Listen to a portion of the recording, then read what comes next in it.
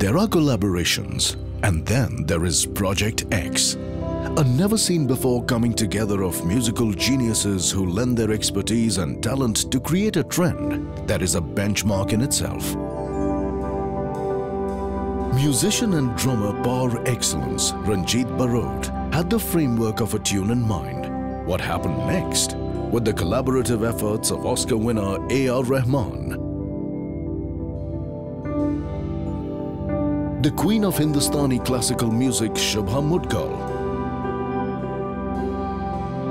the king of commercial Bollywood successes Salim Merchant, and the musical genius of modern day music Amit Trivedi. A song emerged, one that had the best of all the maestros. Project X is not just another collaboration, it is the collaboration.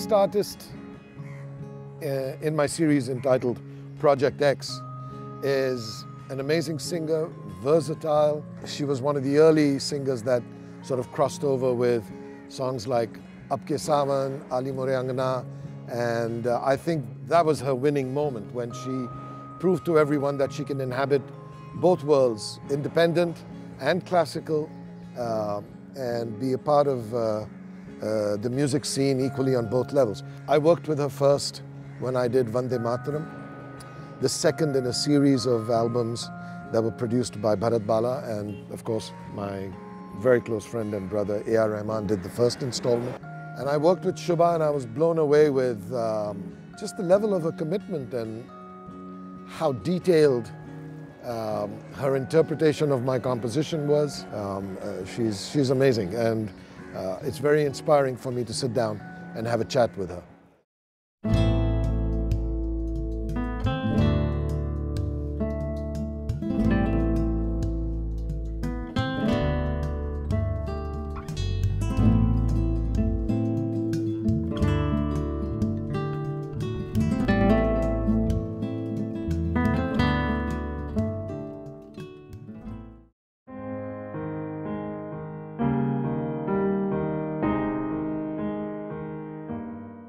Thank you for being with me today, Shubha. Thank you so Thank much. you.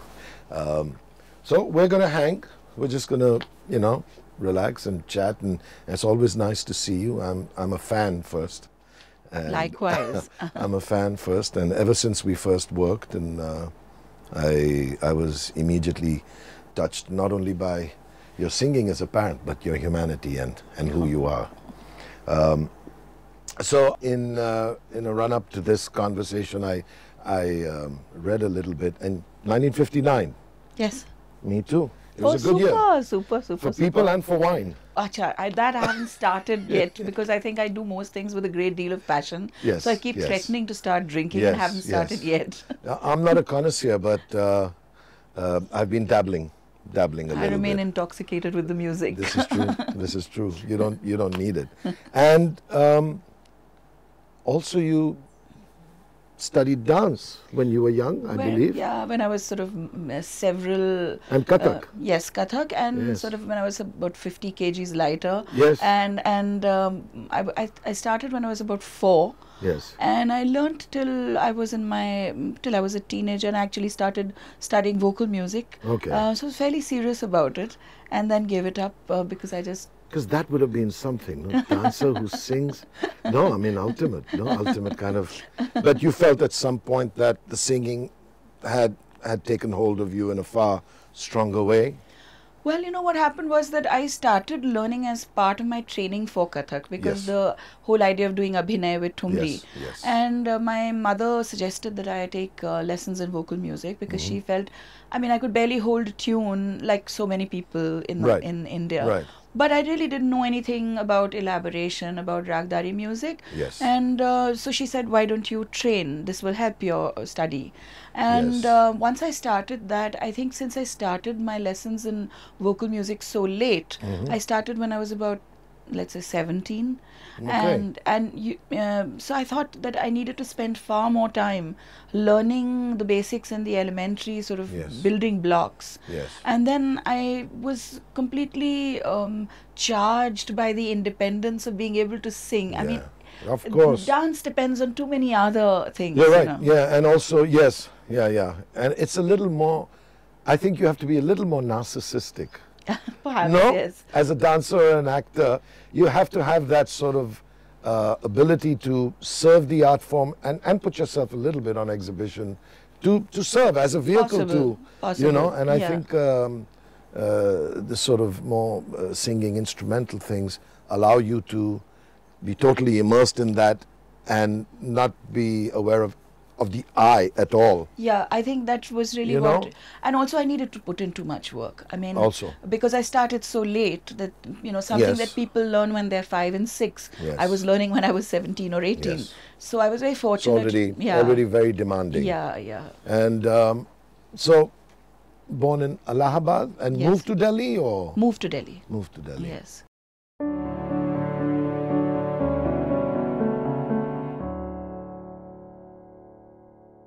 Of course, you've won the national award, and there was an award you won uh, for something you did in Chicago as part of a was it a, music festival or a film festival? What no, was you know that? the only one feature film that I've scored for. wow! Um, and you know, I haven't heard this one. It was only when I was doing research that I found out. Well, it was about, I think uh, the director Rajan Khosa came to me Yeah. because he was making a film which was on the Guru Shishya Parampara.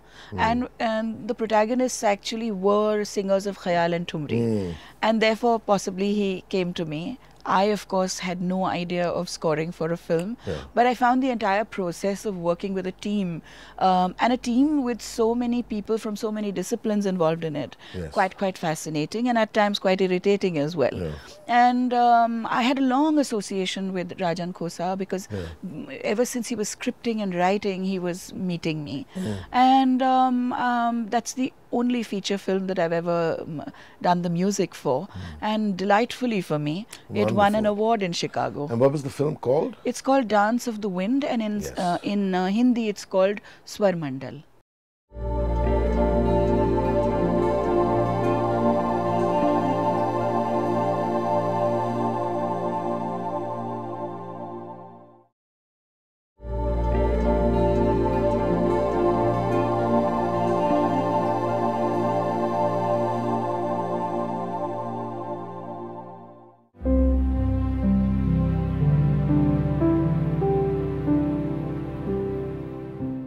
I want to speak a little bit about because um, you're one of the few um, musicians I've met who is so steeped in the classical tradition yet so open to embrace everything else. Because, um, and I'm I'm in in in, in uh, simpatico with you that there's only good music and music not like John says. There's music that's played well and not played so well. Absolutely. we won't even call it bad, Bad, music. It's just music Yeah. not played so well. And I want to talk a little bit about because I think for any um, uh, classical musician to have this wonderful broad-minded approach, there has to be a hunger. There has to be something that it's it's not that we're incomplete without it, but we're constantly uh, evolving and and and um, sort of uh, exposing ourselves to diverse things. And how did you? Um, what led to you being this broad-minded and and and and able to sort of uh, make yourself part of any ensemble that's uh, as long as it meets a certain standard and a quality, you're happy to be a part of it. You know, um, I think I must give the credit for that both to my parents and to my gurus. So at home, you know, um, I mean, I grew up in a home where my parents, their profession was to teach English literature at the Allahabad University, but they were crazy about music and about the Oh. arts in general. And and so I grew up in this home where my father was mm, listening to all kinds of music, was discussing uh, ghazal and Urdu shairi with people who were very knowledgeable, was attending qawwali sessions and coming back and telling us about the entire idea of rhythm as trance.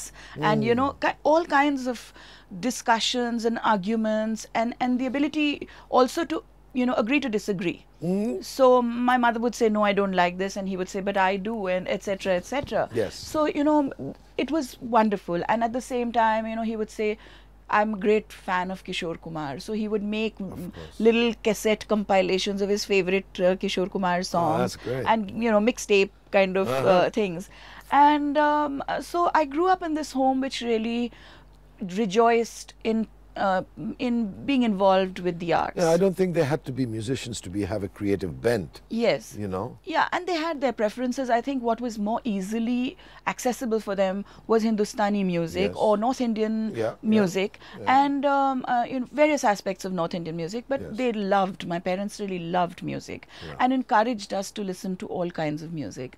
So there was this, you know, liberal, art loving approach at home. Yes, And then I was very lucky to go to, to the, some of the greatest scholars and composers and musicians whom I was able to learn from. Yes. So Pandit Ramashray Jhaji, from whom I Ji. learnt for over 30 years, Yes. he uh, was, of course, he's considered one of the greatest composers in contemporary Hindustani classical Yes, music yes. and a great scholar. Um, never a great performer. He, he, he never sort of got opportunities to perform, but everybody in, in the world of Hindustani music quite reveres him. But his, when he ran away from home to study music, he joined a Ram Ramlila company. Okay. So you know, eh, and and he knew the Ramayana by heart. He could sing it. He had this enormous storehouse of folk compositions, which Right. he sang to me at, at times Wow. and taught me as well. Um, Srimati Naina Devi, from whom I learnt Thumri, Yes. loved Urdu poetry, was involved in you know uh, producing uh, programs for Doordarshan in their days of glory, Yes. and and similarly. Everybody that I, Pandit Jitendra Abhisheki was Ji. so, Yes, uh, yes. he made such a great uh, path breaking um, contribution to uh, Marathi theatre music as well. So I think I was very lucky that both in, in the family as well as with my gurus, there was this, you know, kind of eclectic approach which encouraged uh, students to really look at various aspects of music, to be a student of music first Yes. and a student of Hindustani music thereafter. Thereafter. And so it was very natural for me to inherit this love and curiosity. But yes, I'm I'm delighted that I've had the opportunity to work with people from outside of classical music Yeah, such as yourself. And I think it's really enriched my life a lot.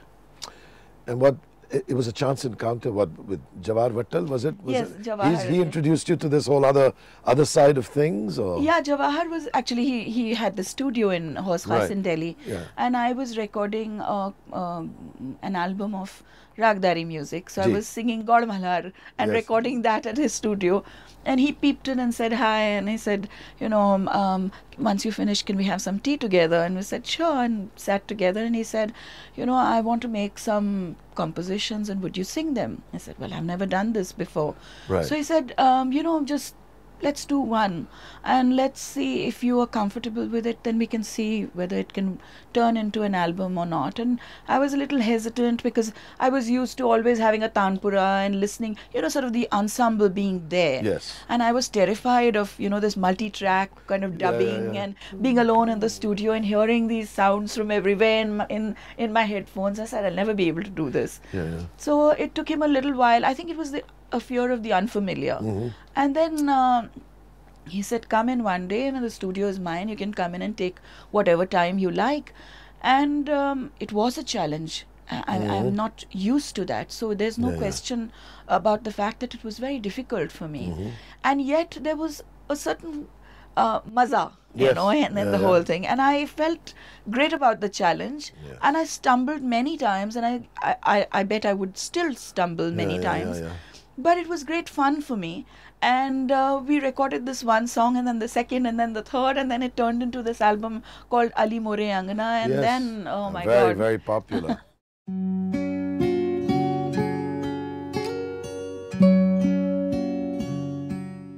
what are you currently involved in? What's what's going on besides the stuff that we're going to do together? Yeah, yeah. I yeah. promise you. I know I've been, uh, but I think uh, I have a I have a wonderful opportunity now uh, through the people that are doing the show with us that we can.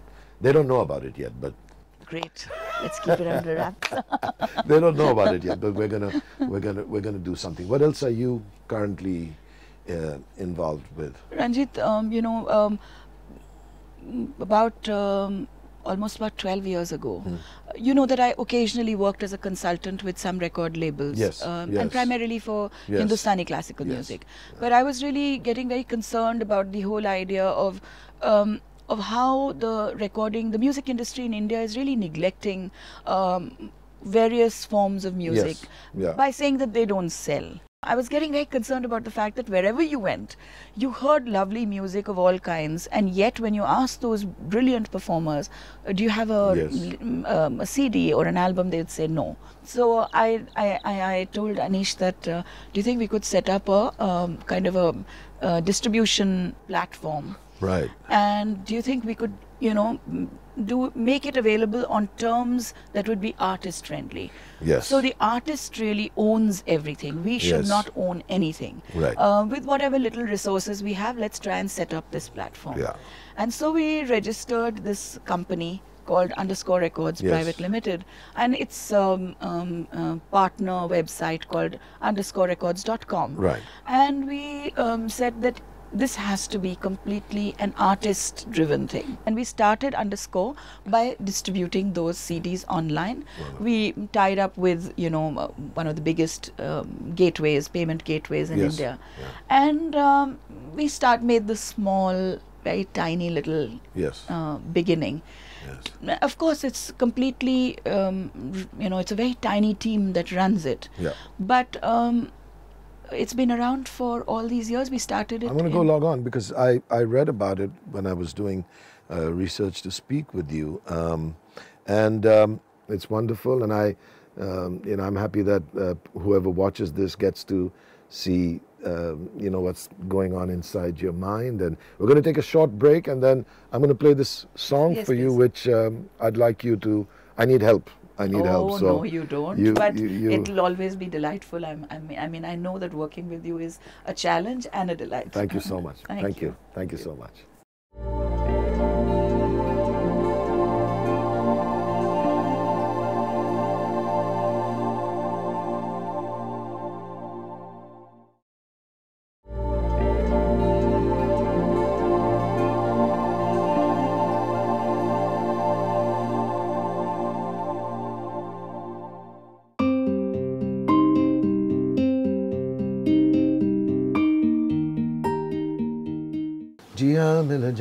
तो जहाँ खुशनुमा हो जाए that's what he had written जिया मिल जाए तो जहाँ खुशनुमा हो जाए। जहाँ खुशनुमा। वन टू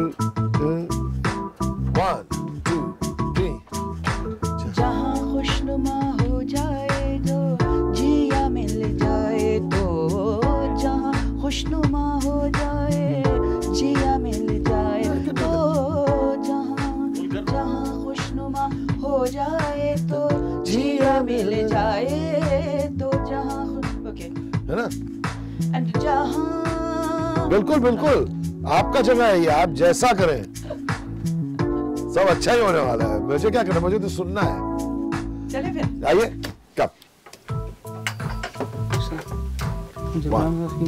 हो रहा थ्री है जहाँ खुशनुमा हो जाए जो जिया मिल जाए तो जहाँ खुशनुमा हो जाए जो जिया मिल जाए तो जहाँ once again please. मोर जहाँ खुशनुमा हो जाए जो जिया मिल जाए तो जहाँ खुशनुमा हो जाए जो जिया मिल जाए तो जहाँ खुशनुमा हो जाए जो जिया मिल जाए तो जहाँ खुशनुमा हो जाए जो जिया मिल जाए जो जहाँ Too much. Beautiful. ऐसे तो दिन भर चलते रहे मैं मज़ा लेते मतलब खुशनुमा हो जाए beautiful, beautiful. We'll do one more where you can just improv and ad lib a bit, and then we have a lot of good things. खुशनुमा हो जाए जो जिया मिल जाए तो जहाँ खुशनुमा हो जाए जो जिया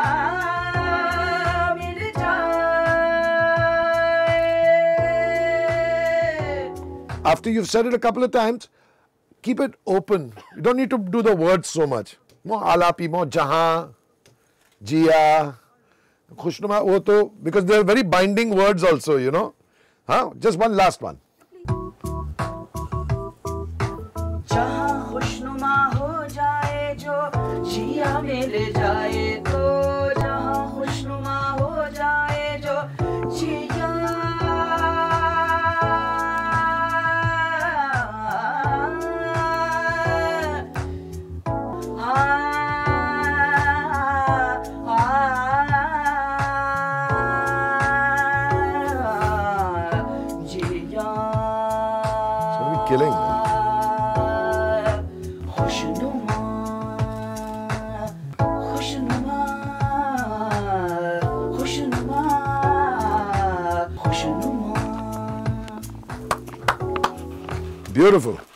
Beautiful, Ji. Thank you. Done.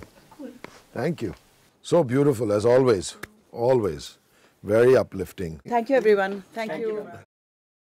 it was amazing because I decided what really would make uh, Project X exciting is that we do a track. Uh, why just speak with everybody? We make a song and and um, you know ask my friends to collaborate and jam on it. And man, Shubha sang as I more than more than my expectations. Really, she she sang beautifully and. Uh, I can't wait to develop this track further with the other artists I'm uh, going to be speaking with and collaborating with, and share all of this with uh, you, the viewer. So enjoy. I know I will.